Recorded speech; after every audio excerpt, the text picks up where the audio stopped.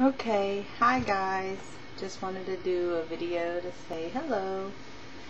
Um, I haven't made a video in quite some time, so I just, um, you know, felt like saying something, sharing something. So, um, I've been doing pretty good. Not as good as I would like. Um, I don't know. It's just been hard. I've been working a lot. So, you know, makes things a little bit difficult, you know. But I'm getting ready to reboot.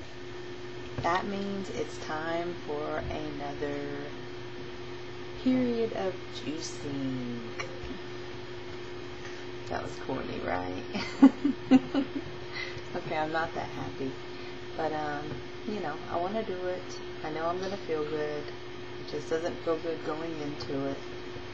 Um, it's always hard to get started. You know, it just is. So I'm going to do this fast. I'm going to set a goal to try to go for 10 days. I'm going to start probably on Sunday. So that gives me a chance to prepare. And um, I'll be posting videos. I know the first few days will be hard, but I'm just going to make a, a goal to post at least a video every other day.